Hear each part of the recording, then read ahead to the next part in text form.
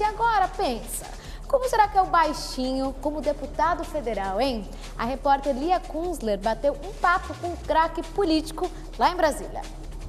Ele marcou 1.002 gols na carreira, o segundo no mundo a atingir esta marca. Dentro de campo, ficou conhecido pelas polêmicas, mas fora dele, é ídolo das grandes torcidas brasileiras e de qualquer um que goste de futebol.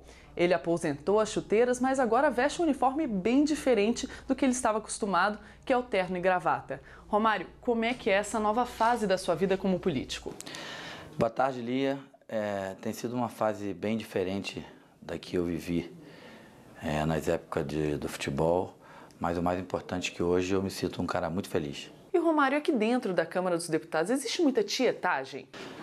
Olha, é, o assédio ele, ele existe. Eu até, inclusive, pensei que fosse acontecer nos primeiros dois, três meses, mas o tempo vai passando. Hoje já tem praticamente cinco, acho que cinco meses, e continua o assédio. E eu acredito, acredito que isso é uma coisa positiva, porque as pessoas hoje não olham só o Romário como ídolo, olham o Romário já como um político que tem plataformas e plataformas essas que realmente ele vai, é, com muita luta, fazer algumas coisas diferentes que outros não fizeram. Romário, quando você se elegeu, muitos criticaram a chegada de deputados celebridade. Como é que você encara esse tipo de crítica? Eu não deixo de ser uma celebridade, isso é normal.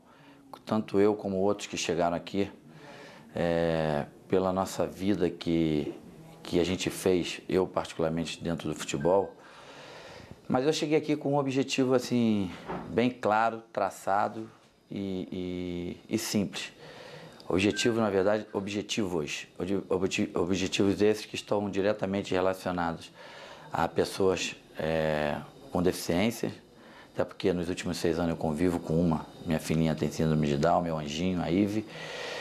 E acredito que o esporte que eu pratico, que é o futebol, na verdade, acredito que o esporte em geral, mas o esporte que eu pratico, que é o futebol, é hoje, principalmente nesse momento que o Brasil vive essa, esse clima de Copa do Mundo, a grande ferramenta para a inclusão social desses, dessas crianças e jovens de comunidade, principalmente esses usuários aí dessas drogas que invadiram o nosso país, o crack o ox.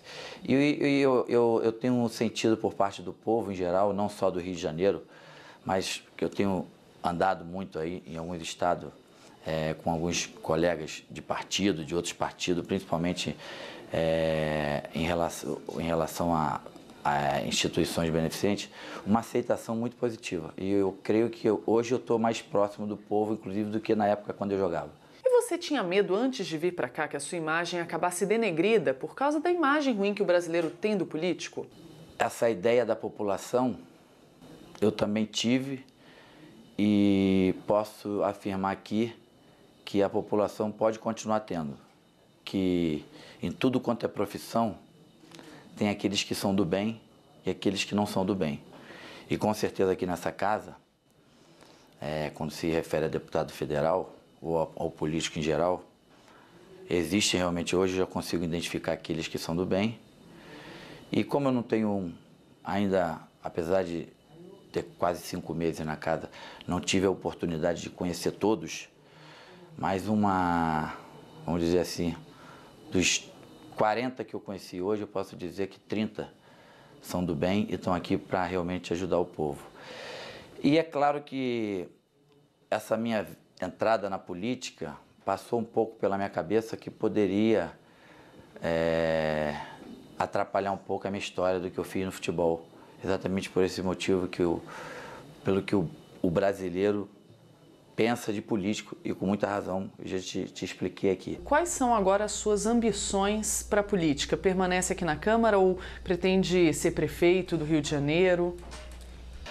É, em relação a essa coisa de ser prefeito, isso surgiu realmente um boato lá, é, do, saiu uma notinha no jornal lá, e até agora não foi desmentido pelo meu partido.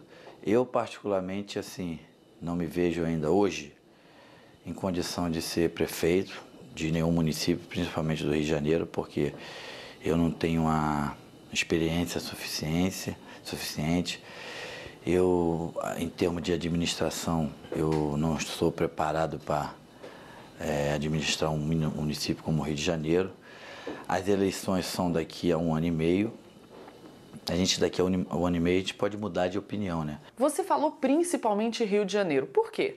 Você é carioca, conhece bem a cidade. Qual que você acha que é o principal problema do Rio hoje? Tem um conjunto de coisas que para você resolver realmente é complicado. Eu hoje, é, apesar de fazer parte de um poder que é legislativo, eu consigo mais ou menos ter uma noção do que deve ser para um prefeito ou principalmente para um governador comandar um município ou um estado do Rio de Janeiro. Realmente é complicado. E como você vê essa proximidade que alguns jogadores de futebol têm com o narcotráfico e com pessoas que são acusadas ou condenadas por envolvimento no tráfico de drogas? Muitas coisas que falaram é, que eu estava me metido não em relação a esses assuntos, a outros, e eu realmente não estava. Então, existe, você, é, como uma repórter inteligente, sabe exatamente o que eu estou falando,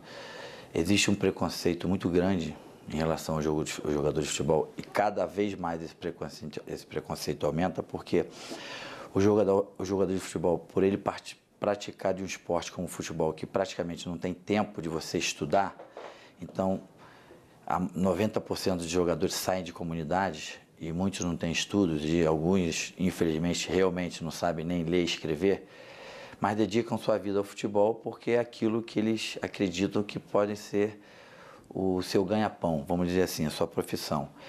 Então, é natural que muitos que passam anos estudando, é, fazem doutorado e não consigam chegar é, financeiramente falando, a nível desses jogadores que nunca estudaram e hoje ganham aí milhões de, de, de, de euros, né, vamos dizer.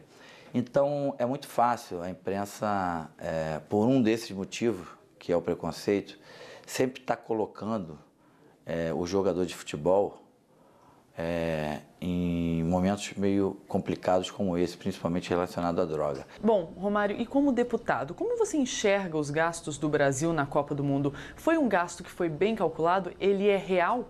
Lá atrás, alguns é, governantes, que eu não, aqui não preciso dizer o nome, que inclusive hoje tem até outros cargos do que tinham lá atrás, tinham colocado que a Copa do Mundo seria gasto 52 bilhões.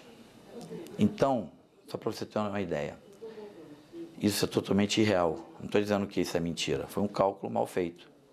Um. Mal foi um planejamento é... não muito bem planejado, vamos dizer assim. Essa Copa vai passar de 100 bilhões. Então já praticamente quase já triplicou o valor que era a conta feita lá atrás. E eu acho que isso não é correto. Então, Romário, você acha que o gasto vai ser feito à toa?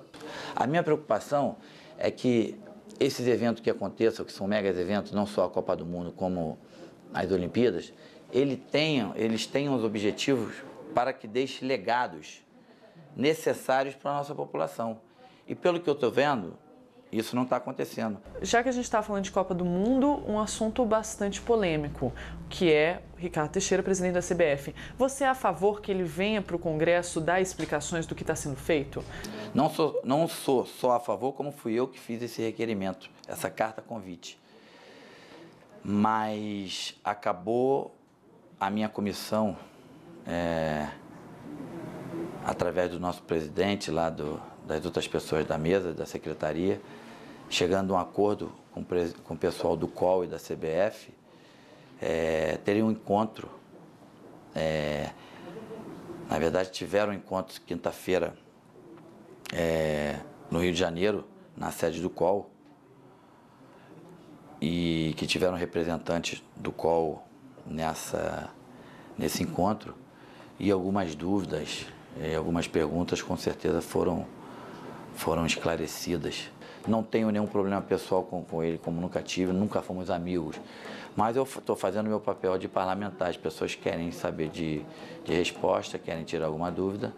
Eu espero que, na verdade, do fundo do coração, eu gostaria que todas, todas essas coisas que apareceram é, a nível de denúncia, de fraude, que ele possa provar que é, não são verdadeiras.